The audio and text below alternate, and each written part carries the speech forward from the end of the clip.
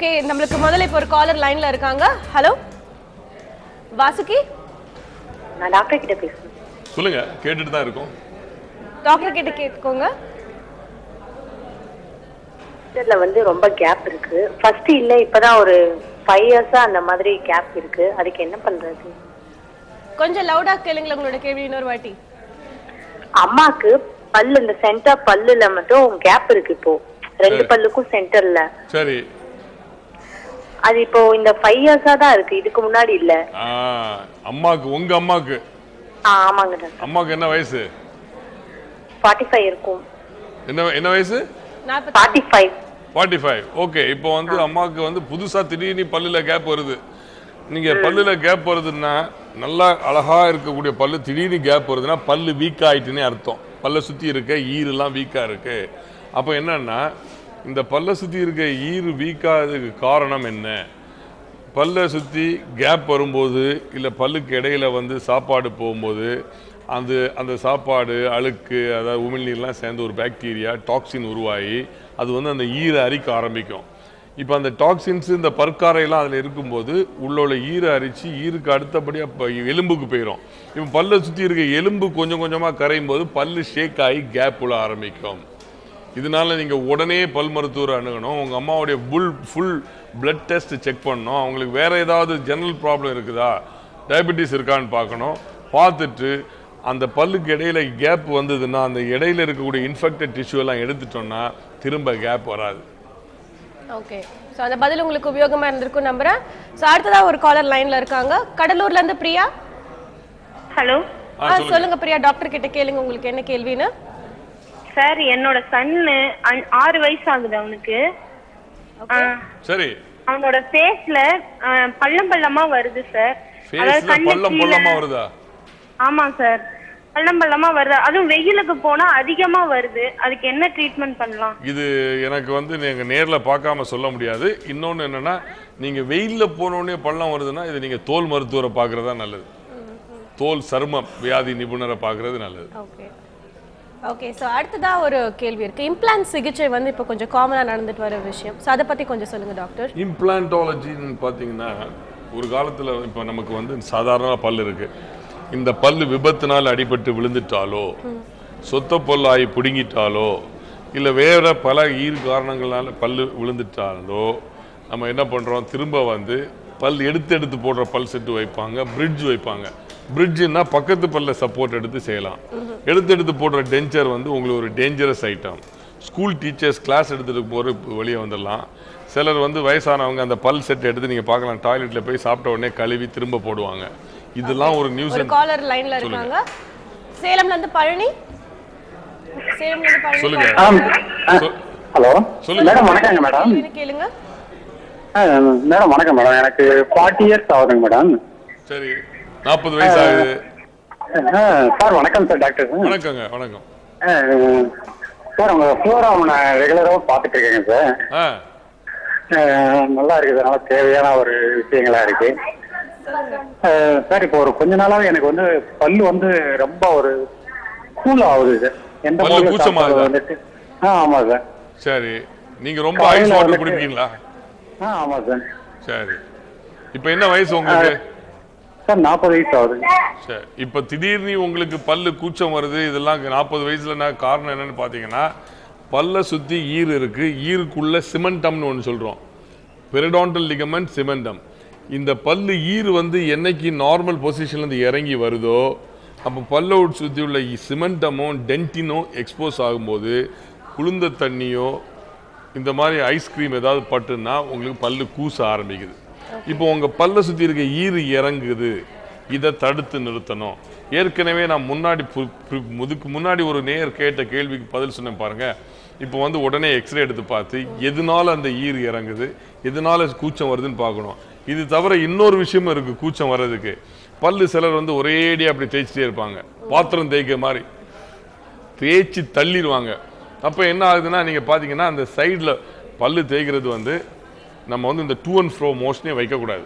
Back and fourth தான். மேலேயும் கீழேயுமா தான் தேய்க்கும் போது தான் உங்களுக்கு அந்த பிரிசில்ஸ் வந்து இடையில பல்லுக்கு இடையில போய் உள்ளே இருக்க சாப்பாடெல்லாம் எடுக்கும். கை இந்த மாதிரி பொசிஷனில் இருக்கும். கொஞ்ச நேரம் நம்ம தேய்ப்போம். அப்புறம் கொஞ்சம் டயர்ட் ஆனோடனே கை இப்படி ஆங்குலேஷன் மாறிடும். ப்ரஷ்ஷும் இப்படி ஆங்குலேஷன் மாறிடும். அதுக்கு விடக்கூடாது. இப்போ வந்து உங்களுக்கு வந்து அந்த கூச்சம் இருக்க காரணம் சொல்கிறேன் பல்லு சைடில் வேற தேஞ்சி போயிருந்தா பல்லு கூச்சம் வரலாம். அப்போனா அது அந்த இடத்துலலாம் ஃபில்லிங் போட்டுடணும். இந்த பல்லு ஈறு கீழே இறங்க விடாம அது வந்து மருத்துவரை பார்த்து எக்ஸ்ரே எடுத்து பார்த்து சில நேரத்தில் ஈறு அறுவை சிகிச்சை செய்ய வேண்டி வந்தாலும் வரலாம். ஹலோ? இன்னொரு காலர் நம்ம லைன்ல இருக்காங்க. ஹலோ? ஹலோ? சொல்லுங்க. சொல்லுங்க செல்வம். எங்க இருந்து கால் பண்றீங்க மதுரை மாவட்டம் மேலூர் இருந்து பேசுறேங்க. ஓகே. உங்க கேள்வி என்னன்னு டாக்டர் கிட்ட கேளுங்க. சார் சார் வணக்கம் சார். சொல்லுங்க கேட்டுட்டு தான் இருக்கேன். சார் வயசு ஐம்பதாவது சார். என்ன என்ன? ஹலோ சார் வயசு ஐம்பதாவது சார். வயசு ஐம்பது ஆகுது சொல்லுங்க ஆ. ஆமாம் சார் ஆமாம் சார். இது பல்லு வாய் பேசும்போது வாய் வாட்ட நாட்டம் வச்சுட்டே இருக்கு சார். ஆ, இவ்வளவு நேரம் நாங்க அதை தான் பேசிட்டு இருந்தோம். வாய் நாத்து அடிச்சா என்னங்க? அப்போ உங்க பக்கத்துல யாரும் வர முடியாது? இப்போ என்னன்னா நீங்க உடனே ஒரு பல் மருத்துவரை பாருங்க. பார்த்து இந்த வாயிலிருந்து வார நாத்தம் வாயினால தானா என்ன? இல்லை வேற எதுவும் காரணமாக பார்க்கணும். இப்போ வாயினாலனா உங்களுக்கு சொத்தப்பல் இருக்கா? ஈறு இன்ஃபெக்ஷன் ஆயிருக்கா? பல்லுக்கு இடையில ஏதாவது சாப்பாடு மாட்டி இல்லை அதுக்கு இடையில ஏதாவது காரையிலிருந்து அழுக்கு இருக்குதா? இப்போ அதில் எதுவுமே இல்லை அப்படின்னா உங்கள் வாய் நாட்டம் வர்றதுக்கு காரணம் வந்து சளி பிடிச்சிருக்கா? மூக்குக்குள்ளேருந்து ஸ்மெல் வரலாம். தொண்டையிலேருந்து வரலாம் இல்லை லங்ஸ்லேருந்து வரலாம் இல்லை வயிற்றுக்குள்ளேருந்து வரலாம். ஸோ எந்த இடத்துல இருந்து வருதோ அந்த துறை டாக்டரை பார்த்து அதை ட்ரீட்மெண்ட் எடுத்துக்கிறது நல்லது. ஓகே ஸோ அந்த பதில் அவங்களுக்கு உதவியா இருக்கும் நம்புறேன் ஸோ இன்னொரு கேள்வி இருக்கு டாக்டர் இப்போ ஜென்ரலாக ரோட்ல வந்து ஆக்சிடென்ட்ஸ்லாம் ரொம்ப காமனாக நம்ம பார்க்குற விஷயம். ஸோ அதுக்கு வந்து நம்ம முதல் உதவியா என்ன செய்யணும்னு? இப்போ ரோட்ல ஆக்சிடென்ட் பார்த்தீங்கன்னா மு முகத்தில் அடிபட்டது தாடை எலும்புலாம் உடைஞ்சி அடிச்ச அந்த இம்பாக்ட்ல என்ன ஆகுனா அந்த தாடை எலும்பு துண்டாகி அப்படி உள்ள போயிடும் இப்போ உள்ள போகும்போது நாக்கை நம்ம நல்லா நீட்டுறோம். நாக்கு வெளியே இருக்கும்போது தான் உள்ள வந்து மூச்சு விட முடியுது. இந்த அடிப்பட்ட எலும்பு வீக் ஆனோடனே அப்படியே நாக்கெல்லாம் உள்ள போய் ஒட்டிக்கும். இப்போ நாக்கு தொண்டைக்குள்ள போயிடுச்சுன்னா பாருங்க நினைச்சு பாருங்க மூச்சு விட முடியுமா? ஃபர்ஸ்ட் பாயிண்ட் விபத்துல விபத்துல ஆக்சிடென்ட் ஆகி நாலு பேர் கீழே விழுந்து கிடக்குறாங்கன்னா கை ஒடிஞ்சிருக்கா கால் ஒடிஞ்சிருக்கா? ஒரு இதை பத்தி பேசலாம் டாக்டர். ஒரு காலர் லைன்ல இருக்காங்க. சொல்லுங்க. ஹலோ? சார். ஆ கேட்டுதான் இருக்கோம். சார் சொல்லுங்க கோவிந்தசாமி எங்க இருந்து கால் பண்றீங்க? என்ன கேள்வின்னு சொல்லுங்க. மேடம் ஆரணிலிருந்து பேசுறேன். ஆரணி. ஓகே. சார் கண் பார்வை கெட்ட பார்வை தெரியல சார் என்னங்க? என்ன கேள்வி? மறுபடியும் சொல்லுங்க. கிட்ட பார்வை கண் பார்வை சரியா தெரியல என்ன சார் கண் பார்வை சரியா தெரியலையா? கிட்ட பார்வை சரியா தெரியல. அப்ப நீங்க கண் டாக்டர் எல்லாம் கேட்கணும் இது வேற இது முகத்துல அறுவை சிகிச்சை செய்யற துறை. கண் கண் டாக்டர்கிட்ட கேளுங்க. ஓகே ஓகே சோ அந்த ஆக்சிடென்ட் கேசஸ் பத்தி ஸோ இப்போ வந்து என்ன ஆகுது? ஒரு ஆக்சிடென்ட் ஆனோடனே முகத்தில் அடிபட்டோடனே தாடை எலும்பு நாக்கு உள்ளே போயிட்டுனா மூச்சு விடுற ப்ராப்ளம் வரும். ஸோ அதனால் ஒரு எமர்ஜென்சியாக முதல் உதவியாக ஒருத்தருக்கு நீங்கள் பண்ணி பண்ணணும்னு நினச்சிங்கன்னா அவருக்கு ப்ரீத்திங் கரெக்டாக இருக்கா? First point ABC of the treatment வந்து ஏ அப்படின்னா ஏர்வே காற்று சரியாக அப்போ வந்து நீங்கள் ஃபஸ்ட்டில் பார்க்க வேண்டியதே இந்த மூச்சு சரியா. அடுத்தது தான் பி தான் பிளட் லாஸ் எப்படி இருக்குன்னு பார்க்கணும். ஓகே பிளட் ரத்தம் எங்கேயா ஓடுனா கண்ட்ரோல் பண்ணுறதுக்கு தான் முதல் பாயிண்ட் எங்கள் துறையில் வந்து சில வயசானவங்க என்ன பார்த்தீங்கன்னா என்ன ஆகும்னா வாயில் பல் செட்டு போட்டிருப்பாங்க. அதோடி அடிபடும். பல் செட்டு நொறுங்கி உள்ள தொண்டைக்குள்ளே போகும். அப்படி லங்ஸுக்குள்ளே போச்சுன்னா அதனாலேயே இறந்து போவாங்க.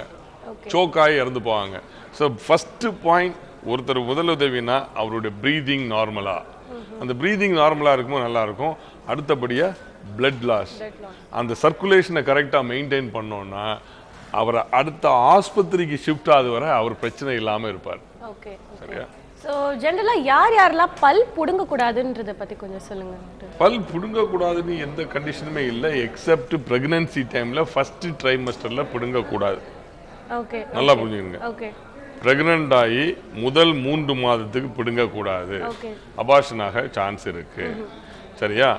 அதே மாதிரி லாஸ்ட் ட்ரைமஸ்லேயும் பல்லு பிடி ஒரு ஸ்ட்ரெஸ் தான். அந்த அந்த ஒரு லேடிக்கு ஒரு ஸ்ட்ரெஸ்ஸை கொடுக்கும்போது ஏர்லி டெலிவரி ஆகலாம். அதுவும் அப்பவும் பண்ணக்கூடாது. அடுத்தபடியாக பார்த்தீங்கன்னா நிறைய பேர் ஹார்ட் எயில்மெண்ட் இருக்கும். அதாவது ஹார்ட் அட்டாக் வந்திருக்கும். பல மா- மாத்திரைகள் சாப்பிட்டுட்டு இருப்பாங்க. அவங்க வந்து ஆஸ்பிரின் சாப்பிடுவாங்க. ரத்தம் உறையாமல் இருக்கிறதுக்காக பிளேட்லெட்ஸ்லாம் ஒன்று சேரக்கூடாதுங்கிறதுக்காக இந்த ஆஸ்பிரின் சாப்பிட்றோம்.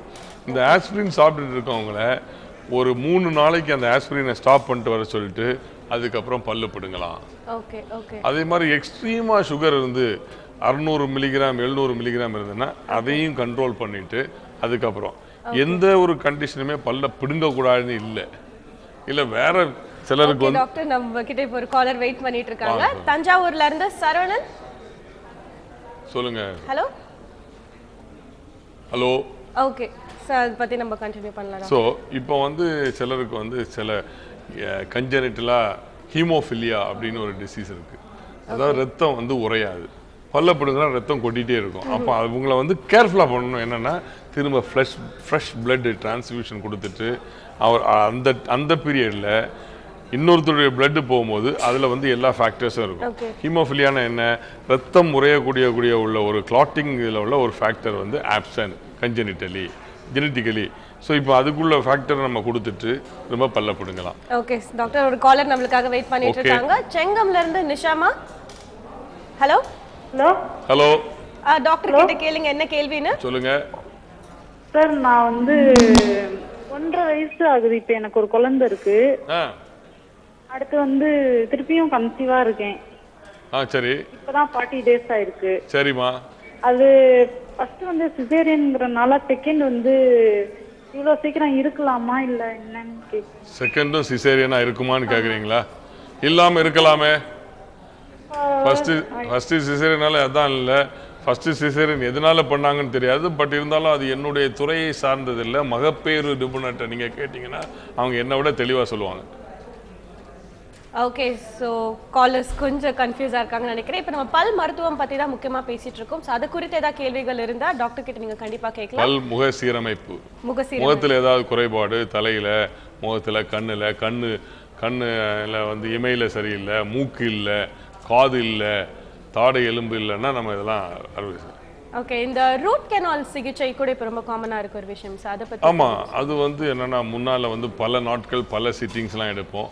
இப்போ வந்து நாங்கள் அது வந்து single sitting root canal treatment இருக்குது பஸ் இருந்ததுன்னா உடனே பண்ணக்கூடாது.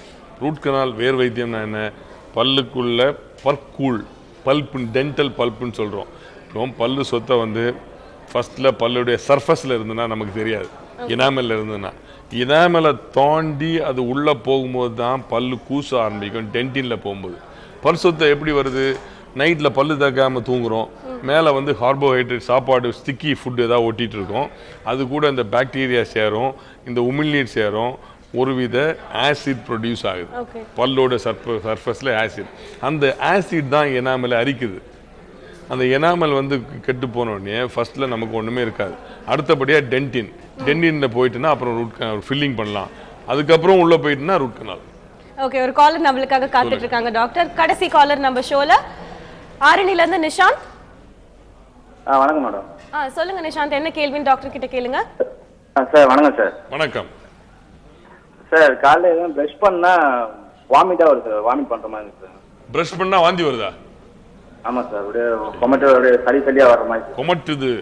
ஒரு ஒரு மாதிரியா இருக்குது ஆமா. பெட் வர மாதிரி இருக்கு சார் நீங்கள் வந்து ப்ரஷ் பண்ணா வருதுன்னா நீங்கள் என்ன மாதிரி டூத் பேஸ்ட் போடுறீங்கன்னு பாருங்க. உங்களுக்கு எந்த டூத் பேஸ்ட் வந்து வாந்தி வராமல் அந்த கேகிங் ரிஃப்ளெக்ஸ் இல்லாமல் வயிறு குமட்டுற மாதிரி வராமல் இருக்க மாதிரி உங்களுக்கு அந்த ஸ்மெல் இப்போ வந்து பலவித டூத் பர்பஸைகள் அவைலபிள் எந்த பர்பஸ் அப்பல்னு நான் சொல்ல விரும்பலை.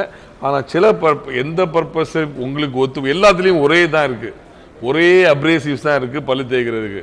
நீங்கள் எது உங்களுக்கு ஒத்து போதோ அதை வச்சு ப்ரஷ் பண்ணுங்கள் ஆனால் ப்ரஷ் கண்டிப்பாக பண்ணி ஆகணும்.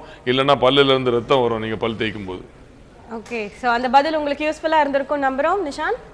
Okay so root canal treatment பற்றி ஆ ரூட் கனால் ட்ரீட்மெண்ட் நான் சொன்னேன். பல் சொத்தை வந்து எனாமலில் இருந்ததுன்னா பிரச்சனை இல்லை.